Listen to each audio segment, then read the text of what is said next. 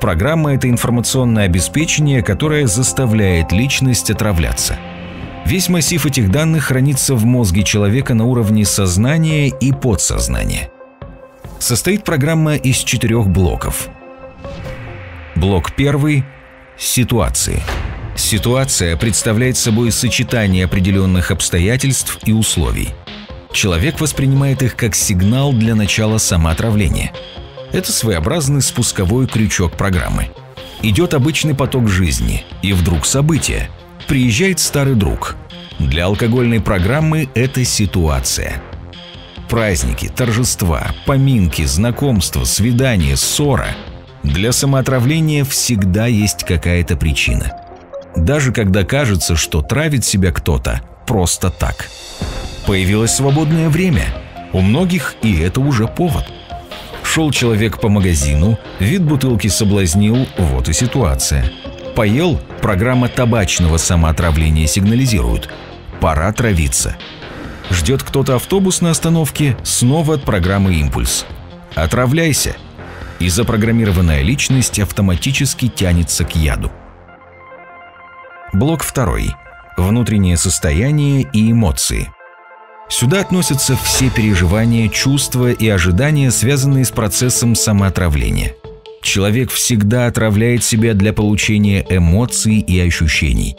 Радости, спокойствия, бодрости или веселья. Что он при этом почувствует, зависит от психологической настройки на конкретную ситуацию, а не от вещества. Возьмем этиловый спирт. Если бы только химическое действие алкоголя определяло эмоции – то яд вызывал бы одни и те же ощущения в любой ситуации.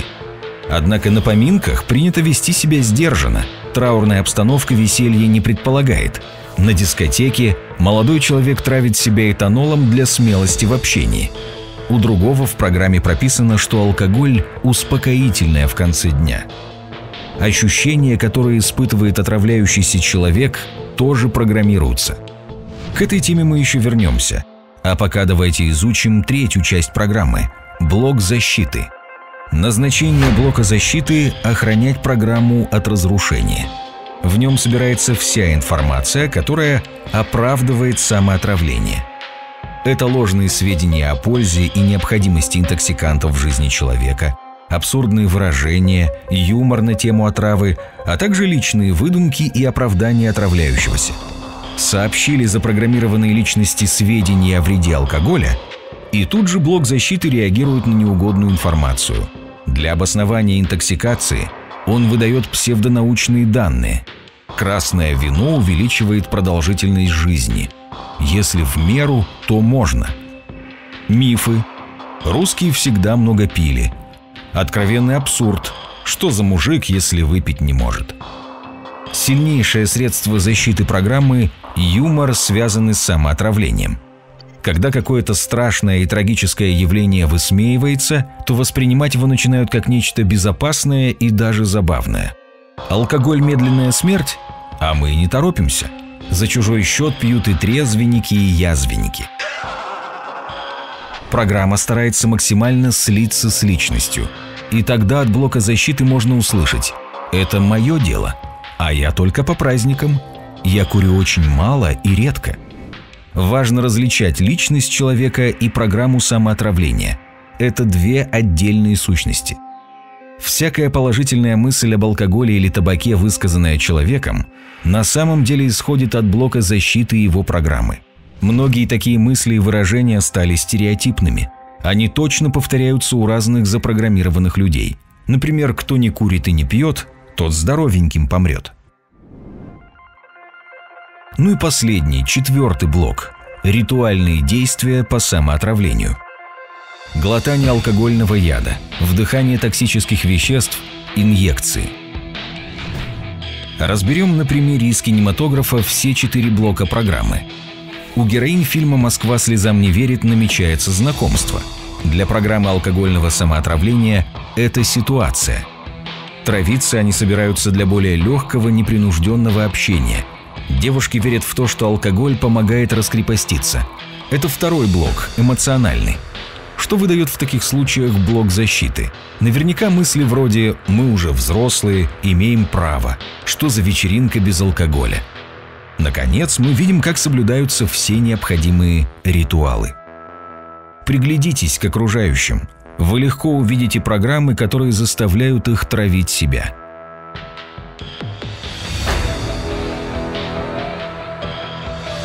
Максим был вне себя.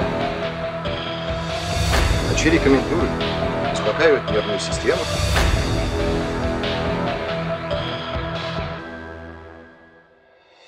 Программа каждого человека индивидуальна. Как нет двух совершенно похожих людей, так и нет двух абсолютно одинаковых программ. У каждого свой набор ситуаций, эмоций, оправданий и ритуалов. Программа словно живое существо, постоянно развивается, изменяется. Начинающий отравленник держит табачные изделия неуверенно, а у опытного все действия отточены, доведены до автоматизма. Но при всей индивидуальности каждой программы самоотравления есть то, что их объединяет. Любая программа работает по одному и тому же алгоритму. Нужно отравляться в определенных ситуациях для получения заранее ожидаемых эффектов и ощущений, при этом оправдывать и обосновывать свое поведение информацией, накопленной в блоке защиты. Совершать самоотравление требуется с соблюдением особых ритуалов – Внешний бомж, глотающий лосьон, и аристократ с фужером элитного шампанского отличаются.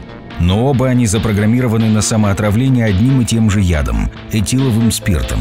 В этом смысле нет принципиальной разницы между водкой и героином. Разные химикаты, разные способы доставки яда в организм, разные скорости и характер деградации. А суть явления одна и та же. Социальные программы – это не только вредные привычки – Полезные навыки тоже являются программами. Но полезные навыки, умение водить машину, привычка делать гимнастику по утрам, способствуют личностному росту и поддерживают нормальную жизнедеятельность. А вредные социальные программы – самоотравление, воровство, пристрастие к азартным играм – ведут к деградации и многочисленным бедам. Полезные программы можно сравнить с помощниками, а вредные – с паразитами, которые воруют время, здоровье и деньги – Запрограммированный человек верующий. Он верит в то, что травиться – необходимое оправданное занятие, и свою веру готов защищать, готов даже пострадать за нее. Вот почему запрограммированную личность зачастую не останавливают возникающие проблемы, болезни или наказания. Можно провести детоксикацию, снять ломку, а человек спустя какое-то время все равно возвращается к своей привычке. Очистили от яда только его организм – с убеждениями никто не работал. Возникла ситуация самоотравления, и человек как робот снова реализует заложенную в него программу. Вспомните эпизод из «Золотого теленка». Шура Балаганов получил от Остапа Бендера 50 тысяч рублей. Невообразимые для мелкого жулика деньги. Но в трамвае Балаганов позарился на кошелек с мелочью. На карманной краже он и попался. Никакой необходимости воровать не было – сработала воровская программа. Устроена она так же, как и программа самоотравления. В ней те же четыре блока. Первый блок ситуации. Шура попадает в переполненный трамвай. Для его воровской программы это становится сигналом «Воруй». Появляется азарт, в кровь идет выброс адреналина. Это второй блок программы – эмоциональный. Оправдывает воровство блок защиты – Шура убежден, что красть в подобной ситуации занятие правильное и никаких угрызений совести не испытывает. Ну и, наконец, действия у карманников отработаны до автоматизма. Это чуть ли не искусство. Вот и четвертый блок. Когда пойманного Шуру уводили, он кричал, что совершил кражу машинально.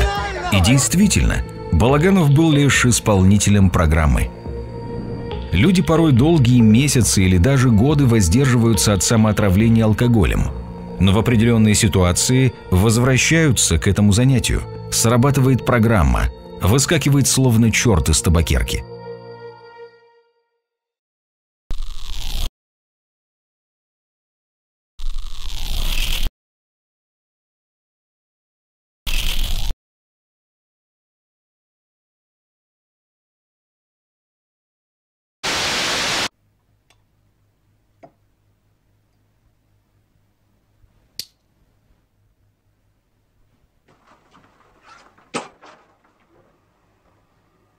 Врач рекомендует снотворное.